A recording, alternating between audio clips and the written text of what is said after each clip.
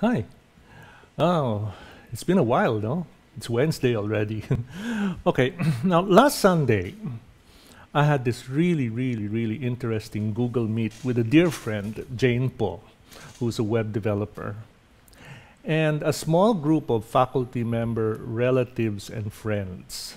Uh, now, Jane and I are both worried about online instruction and how it how we have observed it's going to be delivered, both here in the USA and here. You know.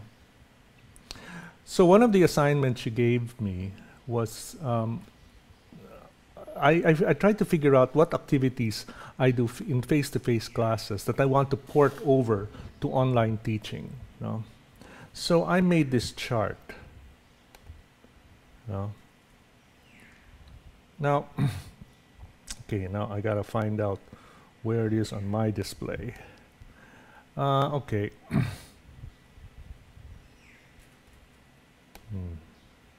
Right, now, first old activity is a welcome session. No? Usually it's done face-to-face -face in the classroom. No? And uh, you need physical presence. No? Now, online, no, I was figuring the way to do that is via teleconference or Google Meet or Zoom or whatever. No. Trouble is, it uses a lot of data. No. So, if I ever do this, no, I, I, I, thought I'd probably do it only once or twice, one at the beginning and one at the end, no, so that my students don't run out of load. Okay, the second one, I was thinking about attendance. Now, what is the, what constitutes attendance, no, in online? No, that's something I haven't really figured out. No, so i am still thinking about it. No? For lectures, you know, in the old mode, it's done face to face in the classroom. It usually lasts anywhere from uh, what 40 to 45 minutes. Okay? Because in UP, for example, our classes are all an hour and a half. No? well, I thought, and I've been, I've been observing a lot of suggestions, uh, the replacement of that would be what's called a micro lecture. No? Now, a micro lecture of about 10 to 15 minutes pretty much like what I'm doing here on my vlog, no? Can either be pre-recorded on-demand video, no, and put on YouTube or Facebook, or it can be audio only in SoundCloud, or I can stream it live on YouTube or Facebook. Okay? Now, class participation is usually done face to face in the classroom. No? But instead of that, I figured, why don't I just do? For, uh, why don't I just use a forum discussion? In one of these threaded forums, no? I can use either the UVLE, you know, which is our learning management system in UP, or even Facebook. Or if I'm really up to it, I can put up my own web forum, but that's a lot of work. No, if I have to add as, act as teacher moderator, that's a lot of work. One of my usual requirements every semester is a one-page ref weekly reflection paper. This is usually done hardbound. But that's easy to submit because that's easy to port over because I can do that by electronic submission, either UVLE or email or something. No? Exams in the classroom, I haven't figured that, that, that one out yet. But there's going to have to be some kind of no, exam or quiz to measure how much the student has retained. Um, yeah, I usually have a group final research project which is composed of two parts. One is an in-class presentation and the other one's a hard copy final term paper. Now I'm thinking this could still be done online, but in much smaller groups. Usually the groups that I usually work with are about three to four. But uh, in our guidelines, we were, it was suggested that we, we only use groups of two. No? So this kind of presentation no, can either be done in many forms. No, uh, if they have the facility to do it, they could pre-record it live, stream on video, and put it on YouTube, and I can watch it. Or it can be some kind of electronic submission. No. But so there are many ways in which they can submit the results of their research. No? And then a synoptic final meeting which will probably be teleconferencing, but it's just optional. Just so I get to see their face.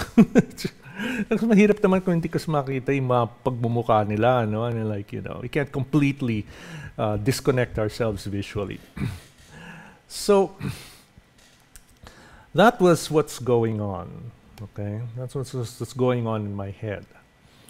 Now, what Jane suggested that could possibly solve my concern for data consumption no, is a platform called the Progressive Web App.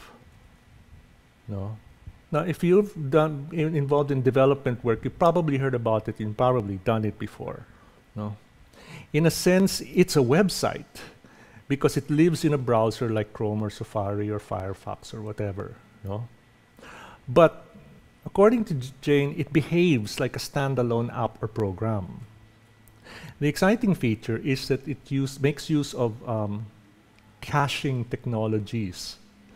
So you can walk into a Wi-Fi hotspot, let's say go to town, go to a Starbucks, no, or go to some restaurant that has it, no, and on your phone, no, you open it up, and it automatically downloads all the materials or the data into the phone. No? And uh, it uses quite, it, it makes use of a lot of HTML. And then you can turn off your Wi-Fi, go home, and when you open it, it everything will still be there. So you can work on it uh, offline. So I'm going like, wow, that's cool, no? So you don't have to be online all the time. It's great. So I said, okay, I'm going to try and find a way, no, to work this out because I knew it requires coding, and I can't code for my life. You know, the last time I wrote something from scratch on a computer was a DBase database back in the 90s for our library. No, so since I can't code, I tried to go on these online web builders. No? Apparently, there's several. But then I got kind of queasy about security, and uh, I said, nah, nah. Maybe I can look for an app, no? a real standalone app to do this. Uh, thankfully, there I found one, no, and I downloaded it. It wasn't cheap, no, but since you know, I, I feel like in a, I'm in a race for time, no. So I paid for it, and I sat down with it starting yesterday, no. Now this is the program. Let me show you the program. Um, so this is the app, and oh boy, it suddenly started raining. okay.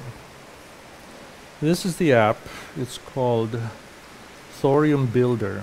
Now this is supposed to be a simulation of your phone. And so what you do is each element, little element here has to be put in. Like for example, you can put in a text link, you can put in a container that you can put anything in.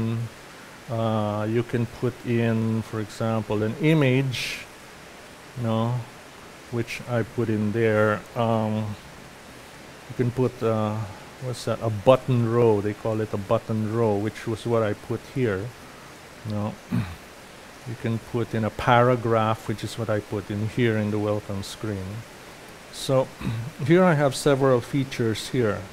That's going to be inside. I have announcements a calendar a Facebook group because uh, I already I already opened a private Facebook group for my classes. It's all ready to go.